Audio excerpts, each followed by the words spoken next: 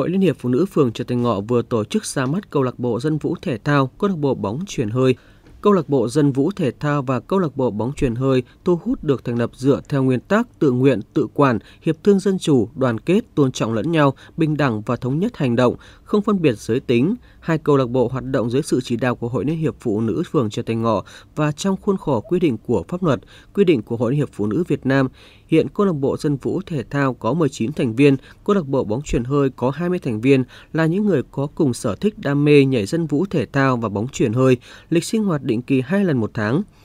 Câu lạc bộ dân vũ thể thao và câu lạc bộ bóng truyền hơi được thành lập nhằm giúp các hội viên phụ nữ phường được giao lưu học hỏi, tham gia các hoạt động văn hóa, văn nghệ, thể dục thể thao, từ đó rèn luyện sức khỏe, nâng cao đời sống văn hóa tinh thần, đồng thời chia sẻ giúp đỡ nhau trong cuộc sống lao động. Thông qua đó cũng góp phần thúc đẩy phong trào văn hóa, văn nghệ, thể dục thể thao địa phương phát triển.